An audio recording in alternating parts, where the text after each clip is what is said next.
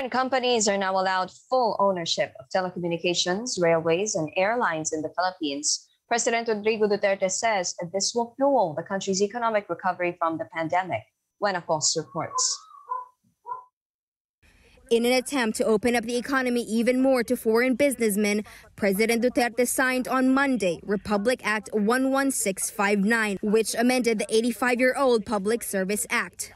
I believe that through this law, the easing of foreign equity restrictions will attract more global investors, modernize several sectors of public service, and improve the delivery of essential services. The measure effectively opens up to 100% foreign equity across economic sectors, such as telecommunications, airlines, and railways.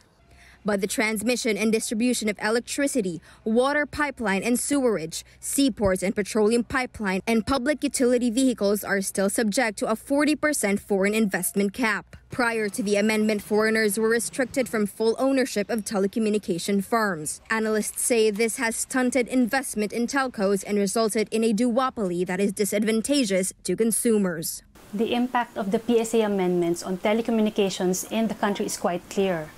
Now we can expect the industry to be open to companies, even those that are 100% foreign owned, and eventually we can expect more choices for the consumers, better services, innovation as well as uh, more affordable rates?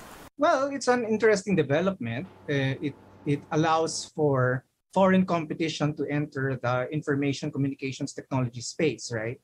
And competition being the primary factor to uh, to lower costs and increase service quality. It's potentially potentially a game changer for the country. Trade Secretary Ramon Lopez earlier said the increase in competition will not only help generate better quality of services at more affordable prices, but also generate more jobs.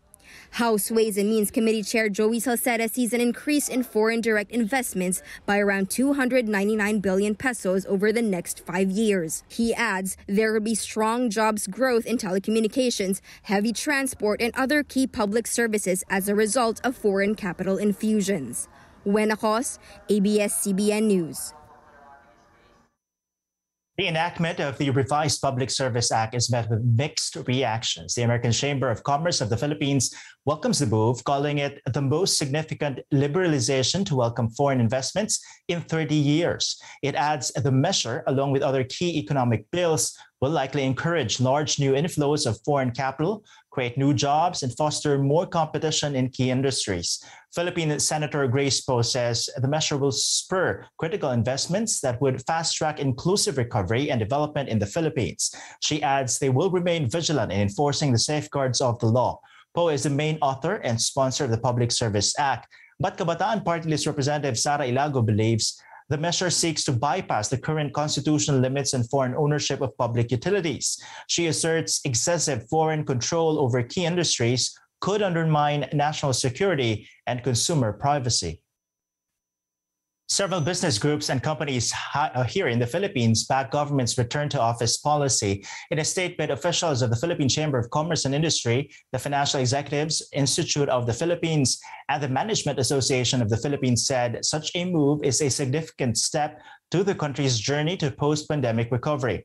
The statement was also signed by officials of major mall operators Ayala Land, SM Prime, MegaWorld, and restaurant group Resto PH. This is in contrast to the appeal of the IT and Business Process Association of the Philippines, which is calling for an extension of the work from home arrangement for BPO workers. IBPAP is also urging for a shift to a hybrid work scheme where employees do not need to be in the office for an entire week government cash aid to the poorest families in the Philippines to be increased by 300 pesos. President Rodrigo Duterte told Finance Secretary Carlos Dominguez to the, hike the monthly assistance from 200 to 500 pesos. Lawmakers had criticized the original amount as a pittance. The cash aid is meant to help the poorest Filipinos cope with soaring fuel and commodity prices.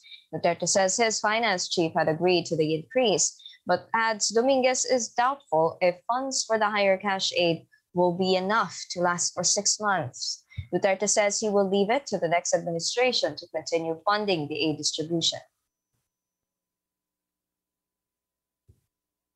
Gambling operator Charlie Atong Ang tagged in the abduction cases of several online cockfighting enthusiasts. During a Senate hearing on missing persons linked to E. Sabong, several witnesses also said at least two police officers were involved in kidnapping.